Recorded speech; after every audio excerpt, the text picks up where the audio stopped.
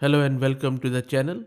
In this video, I'm going to review and locally install a brand new model from Maxime Labonne, which is Llama 3.1 70 billion instruct Lorablated.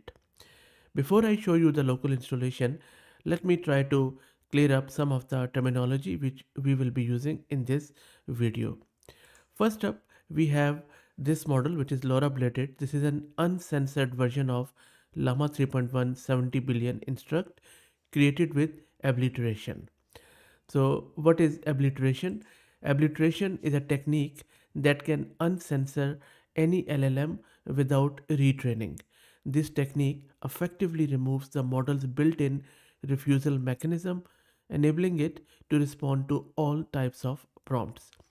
When we say uncensored, the thing is that all of these modern LLMs are fine tuned for safety and instruction following, meaning they are trained to refuse any harmful or toxic request.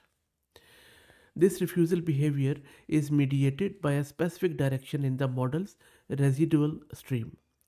If we prevent the model for representing this direction, it primarily loses its ability to refuse requests.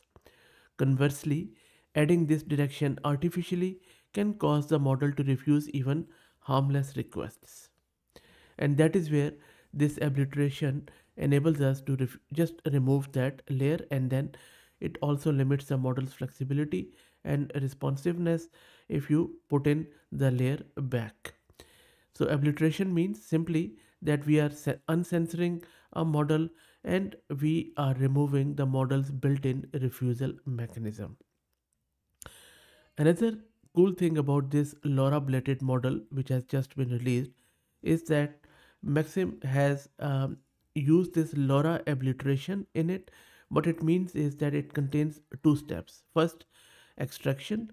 He extracted a LoRa adapter by comparing two models, a censored Llama 3 and an abliterated Llama 3. Now you know that difference between censored Llama 3 and abliterated Llama 3 is that censored one has still got the layer to refuse harmful prompts whereas abliterated llama 3 doesn't have any guardrails there. When we say LoRa adapter what it means is that it is a low rank adaptation. It is one type of supervised fine tuning um, or so what happens in this one is that whenever a new model is created that is a base model or a pre-trained model it can only do completion and nothing else. If you want it to do instruction following there are three ways in supervised fine tuning or SFT one is full fine tuning where you take up your own data and then you retrain or update all the weights of the model and that is called as full fine tuning where all the models or weights are updated as per your own data.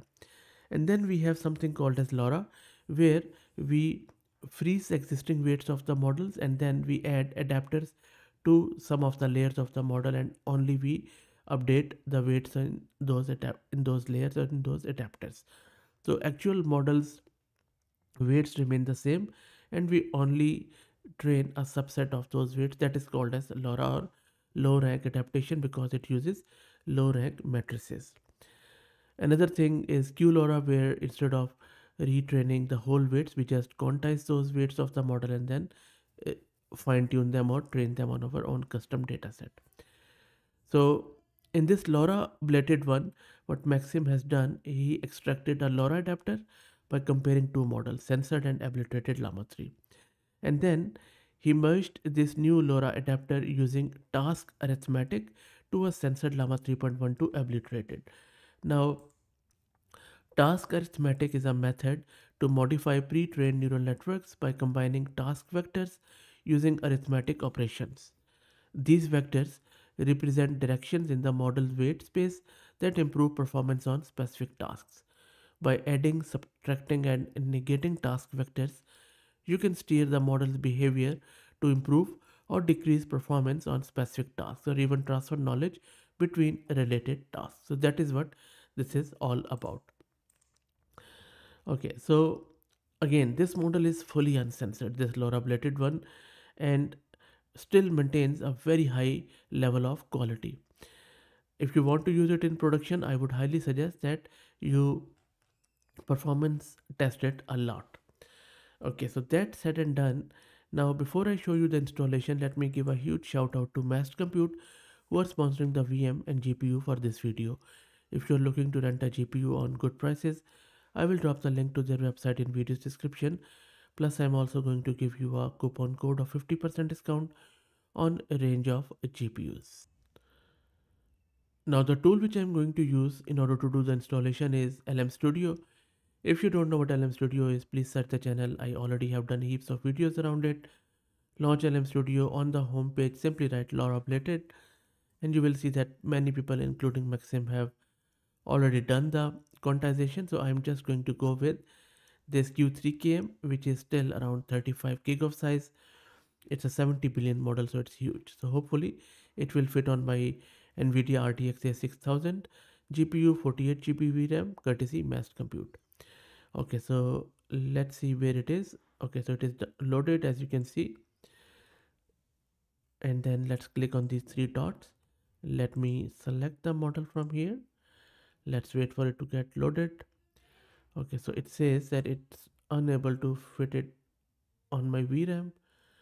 Okay, let me try to reduce the number of layers okay so the issue is not layers here i have checked the issue is that lm studio is still using the old version so i am unable to run it on lm studio so what i'm going to do instead of running it here i'm going to run it on directly llama.cpp i already have the latest version on my system if you don't know what llama.cpp is it is simply a python wrapper which lets you uh, run these models locally with quite ease. So that is what I'm going to do. And by the way, LM Studio simply are GUI on top of llama.cpp. So let me fire up my llama.cpp here. And I have started the llama.cpp server on my local terminal, terminal as you can see here. All I have done is I have just issued this command because I, as I mentioned earlier, I already have it installed.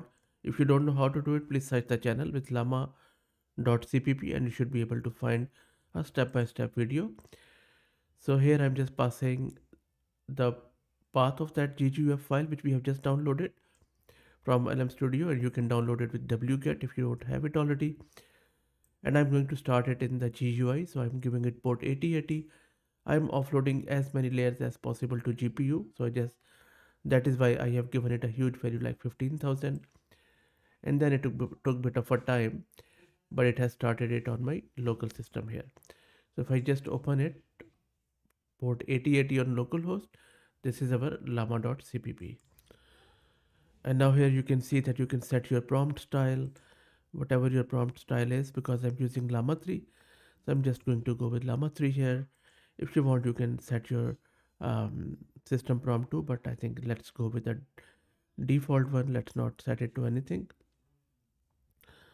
and then here you can set more options if you like this is a typical llama 3 one where it uh, gives you end and start and these are some of the hyper parameters which you can set so i'm just going to give it a toxic prompt that how can i make a bad first impression on first wedding night and then click on submit here let's wait for it to come back